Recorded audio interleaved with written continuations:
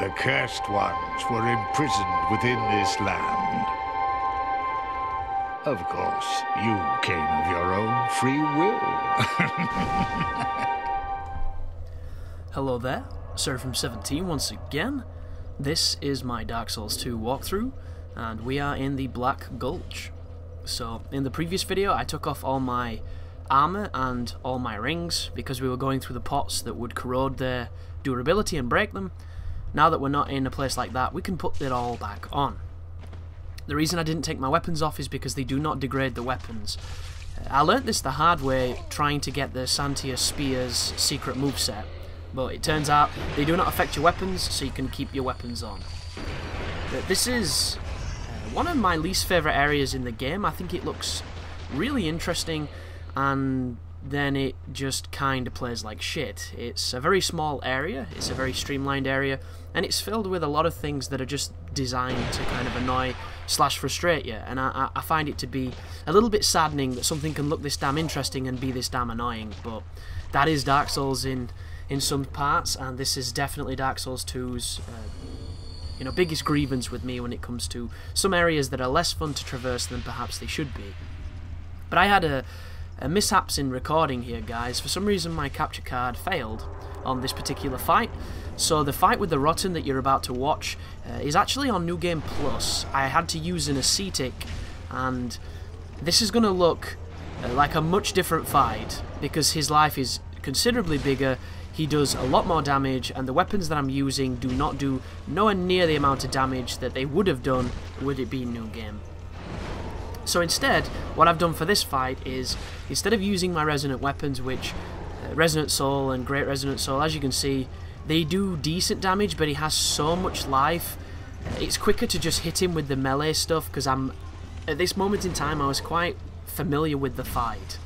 And the Rotten is, is actually very easy once you know what he does, and uh, don't confuse, you know, the lack of challenge in his fight for him not being able to kill you. He does a lot of damage if he lands, but if you have good adaptability or just good rolling skills, then you can dodge a lot of this as if it was Dark Souls 1. And that is what I'm going to show you here in this video, because I had no choice. This guy took my double maces really well. I found that the recovery on the, the power stance moves was a little bit too long, so I decided to just two-hand a single mace. Looking back at this, it would have probably been quicker and more effective to just do the L1 in power stance, the double hit, and then just use that move. But, you know, diversity is the spice of life, and at this particular moment in time, I decided to do it slightly differently. So, instead you're going to get 4 minutes of a boss fight where you get to see his patterns, you get to see how I approach them, and hopefully for the people who are fighting them in a different way than the way I'm presenting, uh, we'll, we'll maybe get something from this. Anybody who's curious about how I'm covering bosses with this game, I am doing boss analysis videos. Be careful of this. I made a big mistake just then. If you are anywhere near the trajectory of that or this, you're in trouble. And the other one is one of those moves where when you're in front of him, it can be very difficult to get out of it. I, I made it look easy just then, and I've had times when I was almost guaranteed I dodged it and it still hit me. So you need to be aware that some of the the dark magic moves that the Rotten can do, like these, can be a little bit tricky if you don't know what he's doing like this. Here it is again. That would have one-shot me if my roll had been any later. That's just bad news anyway. Uh, it's better not to disengage lock there as well, guys, and just roll away from it. For some reason, I was experimenting with some different methods. Uh, I was also thinking during the course of this fight that I spend so much of it evading. I should really evade into his attacks, so towards the boss. Because if you notice, I'm avoiding backwards and I'm avoiding away from him, so I have to get close the distance and then hit him. So it, came to me during the fight that if I rolled forward through the hits, regardless of what they were, I would be able to do more attacks.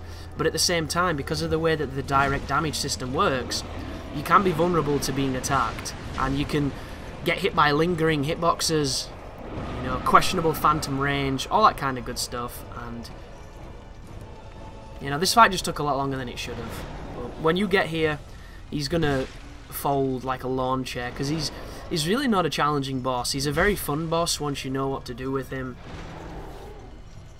Uh, he's definitely one of my favourite Lord Soul, just because it's an interesting fight.